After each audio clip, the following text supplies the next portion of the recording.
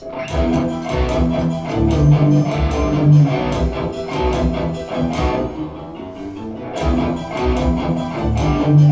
you.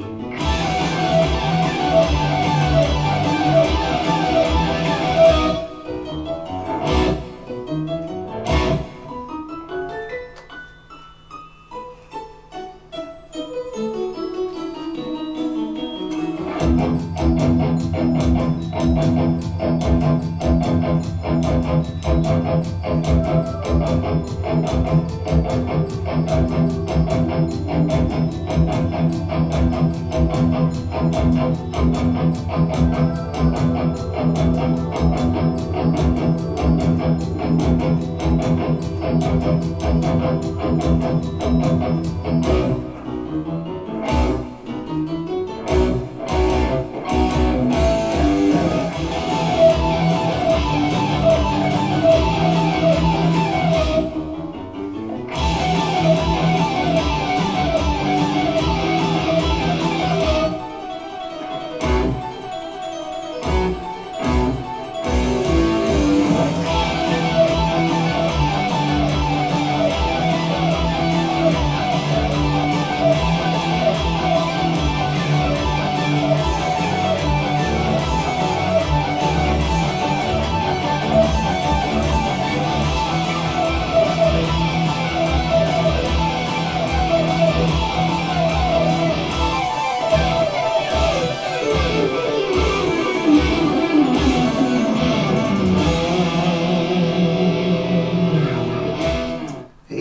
Here, and this is a little lesson on Wizards in Winter by Trans Siberian Orchestra.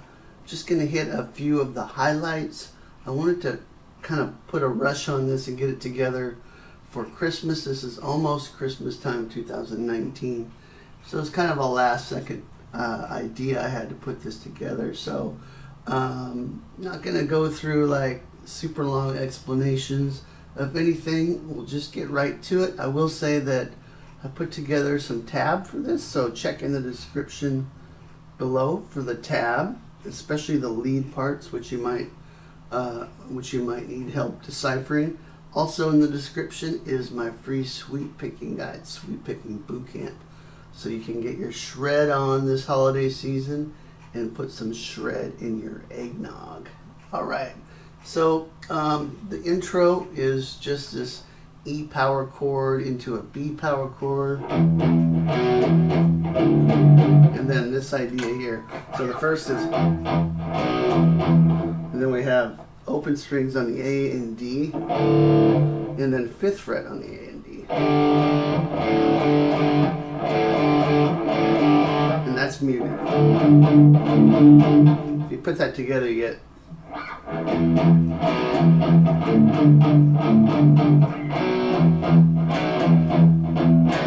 And then you always hear that ending on the B chord there.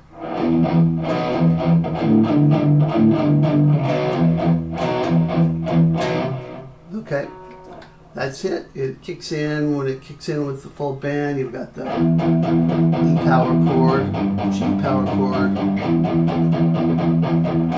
B,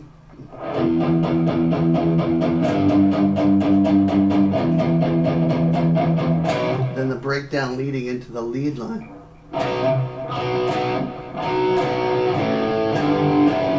That's just B, B, A, G sharp, I'm sorry, G, F sharp.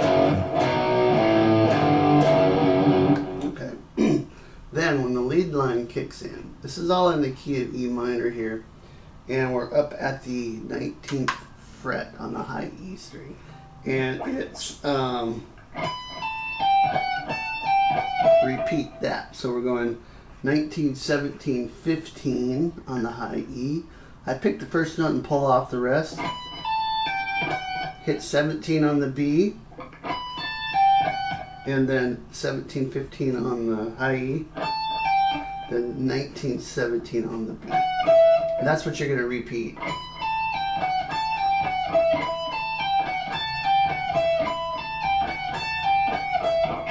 and then it comes out at the 16th fret on the B string. So whenever you hear that B chord, it coincides with that.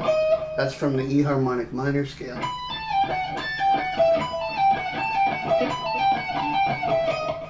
Okay, this is about 140 beats per minute tempo.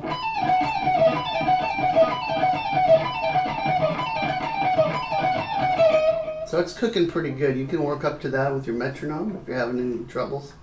Um, it's a combination of pull-offs and pick notes. I would uh, encourage you to kind of experiment with that. If you feel like you want to pick everything, be my guest. I think it sounds a little smoother and better with some pull-offs in there. That's the main lead line that keeps repeating throughout. Okay, then it has a couple of breakdowns. I'm not going to go super in depth into those. You basically have the first breakdown is just chugging away on an E note while the uh, keyboards kind of play play little melodies and ethereal ideas uh, underneath that. And then the second time it has this.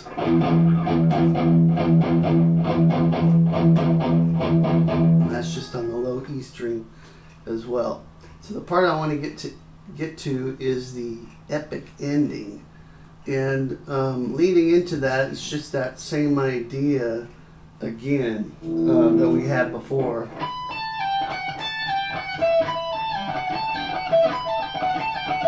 But we're not going to stop. We're not going to just hit that. So it's basically just repeating this.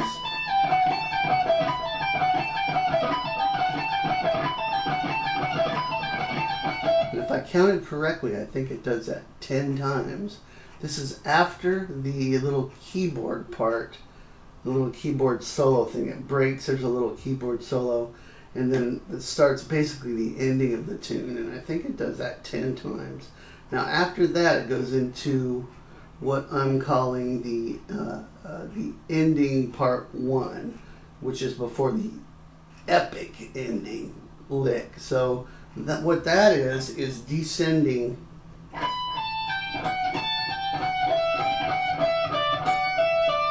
kind of a descending sequence here. So again, see the tab for all the notes here, but let me just play this slow. 19, 17, 15 on the high E, 19 on the B, 17, 15 on the high E. So you see what's going on. You have this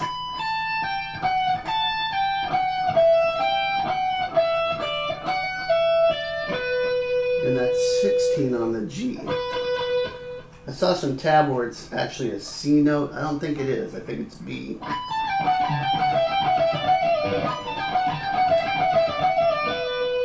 I'm using my pinky, middle, and index to play that, and then my middle to play the um, the the B note on the G string.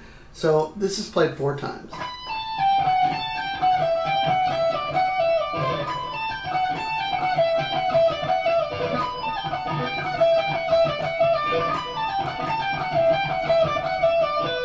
After that, we go into the epic line. It's a really long line, and basically what it is, in the key of E minor, it's descending fours. So it's a group of four notes descending, and then we start at the another note and descend four more. It has a very logical pattern to it. So once you get the pattern down, and you can apply this to all sorts of things, but in this context, um, I'm showing you one way to play this. There's a, a, a few other ways you could play it where you travel down the fretboard. I'll show you one of those other ways too, but the tab that I have is based on this.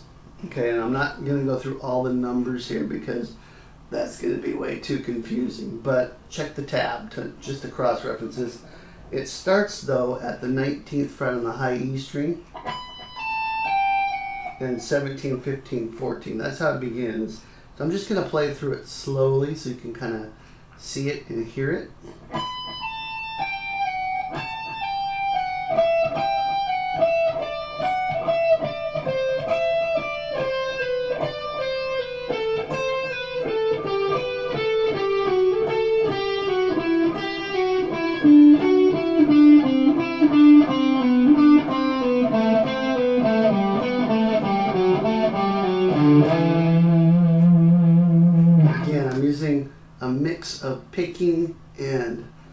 Legato for that.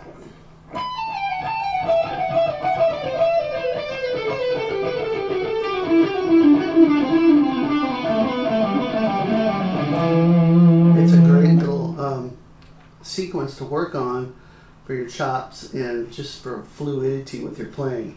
That's one way to do it. So I'm going to wrap this up with show you this is how maybe someone like Yngwie play it, where you travel more on one string. Because you see, my sequence kind of goes across the strings. And this, this what I'm going to show you also does that, but it does a fair amount on one string too. So here's my, if Yngwie were in Trans-Siberian Orchestra, he'd probably play it like this.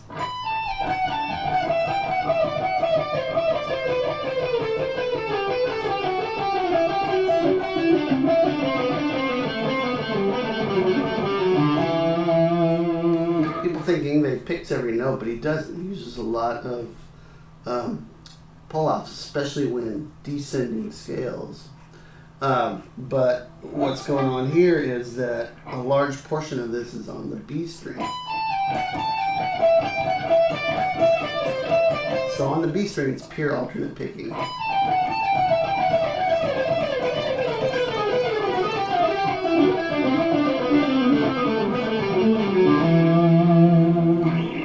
Hope you enjoy this. If you're watching this around Christmas time, um, 2019, want to wish you all a Merry Christmas, Happy Holidays, and this will be my last video of the year until 2020. So I'm looking forward to seeing you guys again in 2020. Thank you for all of your support, for checking out my channel. If you haven't subscribed yet, please do so. Don't forget to grab your free sweep picking guide in the description below, as well as the tab for this lesson. I'll see you soon. Rock on.